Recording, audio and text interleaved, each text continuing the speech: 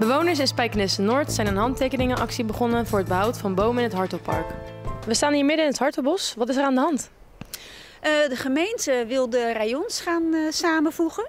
En uh, daarvoor moet de hondenvereniging die in dit park zit verhuizen naar een locatie een stukje verderop in het park. En daarvoor wil de gemeente een heleboel oude bomen gaan kappen. Hoe komen zij tot die beslissing? Uh, zij hebben dat veld nodig van de hondenvereniging, omdat zij uh, meer ruimte nodig hebben. Omdat ze centraal uh, willen zitten met het rayon. En daarom moet de hondenvereniging verhuizen. En wat vindt u van die beslissing? nou, dat de hondenvereniging gaat verhuizen vinden wij prima. Zij moeten natuurlijk ergens een plekje hebben. Maar niet in het park dat daarvoor heel veel oude bomen gekapt moeten gaan worden. Om wat voor een oppervlakte gaat het? Uh, het gaat om 2600 vierkante meter, wat dan zeg maar schoongemaakt moet gaan worden. Is het de enige plek in Spijkenisse die daarvoor is?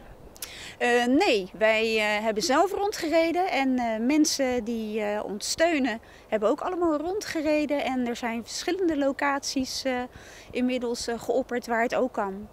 En waarom is het voor u zo belangrijk dat die bomen hier blijven? de groene buffer. Eh, de groene buffer die eh, zit tussen eh, de industrie en Spijkenisse in. En die zorgt voor dat de fijnstof wordt te, tegengehouden en geluidsoverlast. En straks krijgen we ook nog de A15 die hoger komt te liggen. Waardoor er nog meer luchtverontreiniging is en geluidsoverlast. Dus vandaar dat die buffer enorm belangrijk is voor ons. U heeft een petitie opgezet. Wat wilt u daarmee bereiken? Uh, wij willen hiermee bereiken dat uh, iedereen die ook tegen de bomenkap is in uh, Spijkenisse, dat die kan tekenen. En dat wij deze petitie kunnen gaan aanbieden aan wethouder Mijnans. Heeft u het idee dat het gaat werken? Nou ja, eigenlijk wel. Want we gingen hem starten en toen dacht ik van, zal dat allemaal wel gaan lukken? Maar de mensen zijn echt heel erg begaan met, uh, met het park. Uh, zeker gezien alle reacties die we krijgen op Facebook en op Twitter. Waar kan je de petitie ondertekenen? Uh, de petitie kun je online tekenen. Dat is op www.petities.nl. je kunt ook naar Facebook gaan. Facebook is, het adres is Hartholpark Oost.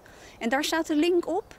En op winkelcentrum Plateau, op, bij de dierenwinkel, Dierenplezier Noord, daar kun je op de ouderwetse manier de handtekeningenlijst tekenen.